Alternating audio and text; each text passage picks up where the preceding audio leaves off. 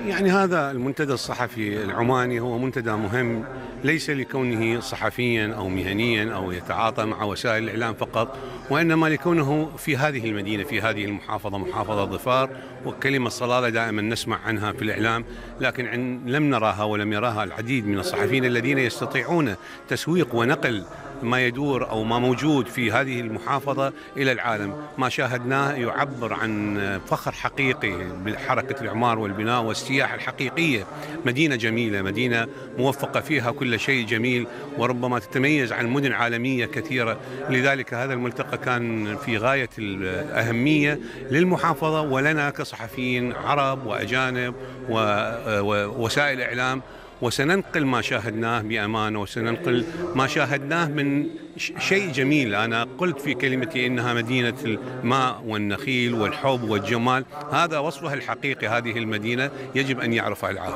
نعم هي الملتقيات مفيدة في عدة جوانب ليس فقط في السياحة أو القضايا الاجتماعية أو القضايا الاقتصادية أيضا حتى في القضايا السياسية وفي القضايا العربية المصيرية. نحن عندما تكلمنا عن غزة وما يدور في غزة وكيف يقتل شعب غزة يقتل الأطفال والنساء والشيوخ هذا صوت سيصل للعالم وسنسوق هذا لأن العالم سا ساكت الآن عن هذه المجازر. ولدينا أكثر من 170 صحفيا قتلوا في غزة وهذا رقم كبير وعدد كبير. لذلك عمان انطلق منها الصوت آه، محافظة ظفار انطلق منها الصوت الذي ينادي العالم لنجدة أبناء فلسطين وأبناء غزة الذين يقتلون يوميا على أيدي الكيان الصهيوني. أكيد يعني هذه القضايا عندما تناقش بتمعن ونطلع على الأوضاع بشكل تفصيلي ليس فقط كلام إنشائي وإنما شاهدنا اليوم الشلالات وشاهدنا الجمال وشاهدنا الخضر وشاهدنا الطرق الطرق الحديثة التي آه، آه، موجودة في هذه المناطق الصعبة كانت منطقة جبلية ومنطقة خضراء آه، مناطق الوديان هذه كلها يجب أن يعرف بها العالم ويجب